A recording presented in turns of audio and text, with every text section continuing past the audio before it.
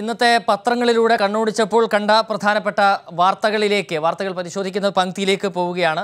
ഈ online rummy കളിയുടെ ചതിക്കുഴിയിൽ വീഴുന്നവരെ കുറിച്ച് ഇന്നത്തെ രണ്ടു പത്രങ്ങൾ നൽകിയിരിക്കുന്ന വാർത്തകളാണ് പത്രവിശേഷത്തിൽ നാം പരിശോധിക്കുന്നത്. കണക്കുകളും വിശദാംശങ്ങളും ചൂണ്ടിക്കാട്ടി മാതൃഭൂമി പത്രവും മാധ്യമം പത്രവും നൽകിയിരിക്കുന്ന വാർത്ത ഈ രംഗത്തെ വലിയ ചൂഷണത്തിന്റെ നേർക്കാഴ്ച തന്നെയാണ്. ഇതിന്റെ വിശദാംശങ്ങളുമായി വി എസ് നിർഭനാണ് നമ്മോടൊപ്പം ചേരുന്നത് ഗുഡ് മോർണിംഗ് കേരളത്തിൽ. Good morning നൃപ്പൻ. Good morning Suraj. നൃപ്പൻ ഈ ഈ കാലഘട്ടത്തിന്റെ വലിയൊരു ഒരു പ്രശ്നമാണ് ഇത്. ഈ ഓൺലൈനായി വരുന്ന വലിയ പ്രശ്നങ്ങൾ ചതിക്കുഴികൾ. അത് പലതരത്തിൽ ഗെയിമിംഗ് ആപ്പുകൾ ഒപ്പം കഴിഞ്ഞ വർഷമൊക്കെ നമ്മൾ ചില ഗെയിമിംഗ് ആപ്പുകൾ വഴി എന്താണ് കൊലപാതകത്തിലേക്ക് വരെ പോകുന്ന നിലയിലേക്ക് കാര്യങ്ങൾ പോയി. ഇപ്പോൾ ഇറങ്ങിയിരിക്കുന്നത് ഇങ്ങനെ പണം നേടാൻ കഴിയുന്ന ചില ഗെയിമുകളെ സംബന്ധിച്ച് വരുന്ന വാർത്തകളാണ്. എന്താണ് ഇപ്പോൾ ഈ രണ്ട് വാർത്തകളിലൂടെ ഈ പത്രങ്ങൾ പങ്കുവയ്ക്കുന്ന കാര്യങ്ങൾ.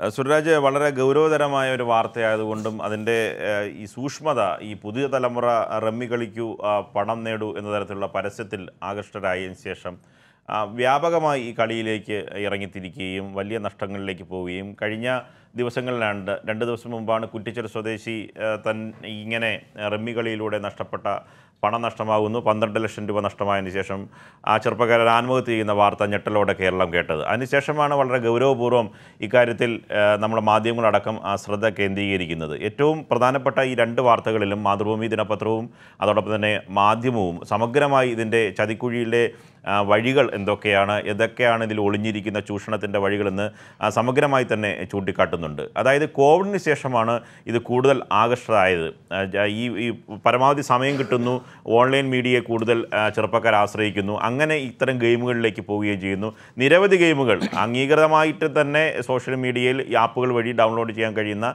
നിരവധി ഗെയിമുകളുണ്ട്. ഈ ഗെയിമിൽ മോഹന വാഗ്ദാനങ്ങളാണ് സ്വാഭാവികമായും ഇവർ മുന്നോട്ട് വയ്ക്കുന്നത്. അതുകൊണ്ട് തന്നെ ഈ ഗെയിമിലേക്ക് പോകും. അതോടൊപ്പം തന്നെ ഈ ഗെയിം കളിച്ചുകൊണ്ടിരിക്കുമ്പോൾ തന്നെ ഈ മണി പണം കടമെടുക്കുന്നതിനുള്ള ആപ്പും പരസ്യങ്ങളും ഇതിലൊപ്പം വരും. അപ്പോൾ നമുക്ക് കാശ് നഷ്ടമാകുമ്പോൾ സ്വാഭാവികമായും വീണ്ടും ഇതിൽ നിന്ന് കാശ് ലോൺ എടുക്കും വീണ്ടും ഈ കളിയിലേക്ക് ഇൻവെസ്റ്റ് ചെയ്യും. അവിടെ വളരെ പെട്ടെന്ന് തന്നെ ഈ പണം മുഴുവൻ നഷ്ടമാകുന്ന ഒരു അവസ്ഥയിലേക്ക് പോകും. ഈ ഒറ്റപ്പെട്ട തുരുത്തിലിരുന്നു കൊണ്ട് ഒരു മൊബൈൽ ഫോണും ഈ പരസ്പരമുള്ള കളിയിൽ ഏർപ്പെടുമ്പോൾ ഒരു മറ്റ് സമ്പർക്കങ്ങളിലേക്ക് പോവുകയോ തനിക്ക് പണം നഷ്ടപ്പെട്ട കാര്യം വീട്ടുകാരോടോ സുഹൃത്തുക്കളോടോ പറയാനുള്ള അവസരവും ഇവർക്ക് നഷ്ടമാകും. വലിയ കാശ് നഷ്ടം വന്നതിന് ശേഷമായിരിക്കും ആത്മഹത്യ പോലെയുള്ള വലിയ കാര്യങ്ങളിലേക്ക് ഇവർ കടക്കുക. അങ്ങനെ ഈ ഈ കണക്കുകൾ വെച്ച് പരിശോധിക്കുമ്പോൾ മാതൃഭൂമി ദിനപത്രത്തിൽ നൽകുന്ന വാർത്തയിൽ പറയുന്നത് ഈ പലരും പരാതിക്ക് തയ്യാറാകുന്നില്ല. അതായത് വ്യക്തിപരമായി കാശ് നഷ്ടപ്പെട്ട് കഴിഞ്ഞാൽ കാശ് നഷ്ടപ്പെട്ട് പോയി എന്ന കാര്യം പുറത്തു പറയാൻ അഭിമാന ബോധമുള്ളവർ പലരും തയ്യാറാകില്ല. പൂർണമായി നശിച്ച ശേഷം മാത്രമായിരിക്കും പലരും ആത്മഹത്യ ചെയ്യുക. അങ്ങനെ ഗൗരവതരമായ രണ്ട് വാർത്തകളാണ് മാതൃഭൂമി ദിനപത്രവും അതോടൊപ്പം തന്നെ മാതൃ മാധ്യമം ദിനപത്രവും നൽകിയിരിക്കുന്നത് സുരരാജ്. അതെ ദ്രപൻ ഇപ്പോൾ ഒരു പ്രശ്നം പ്രധാനപ്പെട്ട പ്രശ്നം വന്നത് ലോക്ക്ഡൗൺ കാലഘട്ടമാണ് ഇതിന് വലിയൊരു എന്താ പറയുക ഇത്രയേറെ ഇത് വ്യാപകമാക്കിയത് എന്നാണ് എനിക്ക് തോന്നുന്നത്. മാത്രവുമല്ല നമ്മളിപ്പോൾ യൂട്യൂബ് തുറന്നു നോക്കിയാലും ഇത്തരം ഗെയിമിംഗ് ആപ്പുകളുടെ പരസ്യം ധാരാളമായി കാണാൻ കഴിയുന്നുണ്ട്. അപ്പോൾ യൂട്യൂബിലൊക്കെ ഇങ്ങനെ പരസ്യം വരുമ്പോൾ ഇതെന്തോ ഒരു വിശ്വാസ്യതയുള്ള കാര്യമാണ് എന്ന് തെറ്റിദ്ധരിക്കുകയും കൂടി ആളുകൾ ചെയ്യുന്നുണ്ട്. ഇത് കൃത്യമായൊരു ബോധവൽക്കരണമോ കൃത്യമായൊരു അവബോധമോ ജനങ്ങൾക്ക് അല്ലെങ്കിൽ ഈ ഓൺലൈനിൽ ഓൺലൈനിലൂടെ സർഫ് ചെയ്യുന്ന ആളുകൾക്ക് ഉണ്ടാവുന്നില്ല എന്നതാണ് പ്രധാന പ്രശ്നം. അത് വലിയ പ്രശ്നമാണ് സുരരാജ് അതായത് നമ്മൾ ഗൂഗിൾ ഗുരുവിന്റെ കാലഘട്ടമാണ്. നമ്മൾ എല്ലാ കാര്യങ്ങളും സംശയങ്ങളും നിവാരണം ചെയ്യുന്നത് ഗൂഗിളിൽ സെർച്ച് ചെയ്തിട്ടാണ്. അതായത് നമ്മുടെ വാഹനത്തിന്റെ ചാവി കീ നഷ്ടപ്പെട്ടു പോയാലും ഗൂഗിൾ സെർച്ച് ചെയ്ത് നോക്കുന്ന അവസ്ഥയിലേക്ക് യുവതലമുറ മാറിയെന്ന് തമാശ രൂപേണ പലരും പറയാറുണ്ട്. ആ തര ആ നിലയ്ക്കാണ് കാര്യങ്ങൾ. നമ്മൾ ഈ ഓൺലൈൻ ആപ്പുമായി ബന്ധപ്പെട്ട സംശയങ്ങൾ വരുമ്പോഴും സ്വാഭാവികമായി ജനങ്ങൾ സെർച്ച് ചെയ്ത് നോക്കുന്നത് ഈ ഗൂഗിളിലെയും അതോടൊപ്പം തന്നെ യൂട്യൂബിലെ ചാനലുകളിലെയും പലതരത്തിലുള്ള വീഡിയോ ആണ് അവരൊക്കെ തന്നെ വലിയ മോഹന വാഗ്ദാനങ്ങളാണ്. അതായത് എങ്ങനെ കളിക്കാം എങ്ങനെ കളിച്ച് പണം നേടാം? പണം നേടിയുടെ പലരുടെയും ഉദാഹരണങ്ങൾ. അങ്ങനെ ഉദാഹരണങ്ങൾ പറയുന്ന പേരുകൾ പലതും ഫേക്കാണ് എന്നതാണ് ഏറ്റവും വലിയ വസ്തുത. അങ്ങനെ മോഹിപ്പിക്കുന്ന എല്ലാ ആ, സമൂഹത്തിലെ എല്ലാ ജനതയ്ക്കും എല്ലാ ജനങ്ങൾക്കും പെട്ടെന്ന് പണക്കാരാവുക മോഹിപ്പിക്കുന്ന ജീവിത രീതിയിലേക്ക് പെട്ടെന്ന് കാലെടുത്ത് വയ്ക്കുക എങ്ങനെ പരിശ്രമമില്ലാതെ വലിയ ശ്രമമില്ലാതെ അധ്വാനിക്കാതെ പണം നേടാം. ഇങ്ങനെയുള്ള ചതിക്കുഴിയിലേക്ക് വീട് വീഴുന്ന ഒരു തലമുറ എല്ലാ കാലഘട്ടത്തിലും ഉണ്ട്.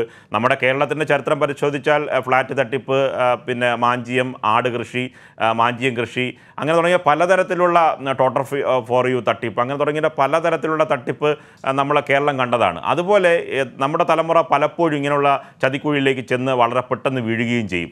അതിന്റെ ഒരു തുടർച്ചയായി കൂടി ഇതിനെ കാണണം. ഈ ഐ ടി സെല്ല് തന്നെ പറയുന്നത് നമ്മുടെ പോലീസിലെ വിഭാഗം വിദഗ്ധ സമിതി പറയുന്നത് തന്നെ ഇത് ബോധവൽക്കരണം കൊണ്ടേ മാറ്റിയെടുക്കാൻ കഴിയുള്ളൂ. ഇങ്ങനെയുള്ള ഗൂഗിളിൽ സെർച്ച് എഞ്ചിനിൽ പോയി ഇങ്ങനെ യൂട്യൂബ് ചാനൽ കണ്ട് ഇങ്ങനെ മോഹന വാഗ്ദാനങ്ങളിൽ പെട്ട് ഇങ്ങനെ പണം നഷ്ടപ്പെട്ടു പോകുന്ന അവസ്ഥയ്ക്ക് മാറ്റമുണ്ടാകണം. പകരം പുതിയ തലമുറ ഇത് പറഞ്ഞ് മനസ്സിലാക്കി ഇങ്ങനെയുള്ള ചതിക്കുഴിയിൽ നിന്ന് തിരികെ കൊണ്ടുവരണം. അതോടൊപ്പം തന്നെ പ്രഗത്ഭരായ നടന്മാർ അതായത് ബോളിവുഡിലൊക്കെ പ്ര- പ്രഗത്ഭരായ നടന്മാർ മലയാളത്തിൽ തന്നെ പ്രശസ്തരായ ചില നടന്മാരൊക്കെ തന്നെയാണ് ഇതിന് പരസ്യം നൽകുന്നത്. അതുകൊണ്ട് തന്നെ അവർക്ക് ഏറ്റവും ഫെമിലിയർ ആയിട്ടുള്ള അവർക്ക് ഏറ്റവും അടുപ്പമുള്ള നടന്മാരൊക്കെ തന്നെ ഇങ്ങനെ റമ്മി കളിക്കൂ സമയം കളയണ്ട പണം നേടാനാണ് അലസമായിരിക്കേണ്ട ഇത് വലിയ പണം നേടുന്ന വലിയ വഴിയാണ് എന്ന തരത്തിലുള്ള പരസ്യം നൽകുന്ന സന്ദേശവും ആ, വളരെ ഏറെ യുവജനങ്ങളെ സ്വാധീനിച്ചിട്ടുണ്ട്. ഇത്തരം പരസ്യങ്ങളിലൊക്കെ തന്നെ ഈ സാമൂഹ്യ പ്രതിബദ്ധതയുള്ള നടന്മാരൊക്കെ തന്നെ പങ്കെടുക്കുന്നതിലുള്ള വിമർശനവും ഇപ്പോൾ സോഷ്യൽ മീഡിയയിലും അതോടൊപ്പം തന്നെ ഈ രംഗത്തുള്ള വിദഗ്ധരും വലിയ വിമർശനമായി ചൂണ്ടിക്കാട്ടുകയും ചെയ്യുന്നുണ്ട് സുരരാജ്.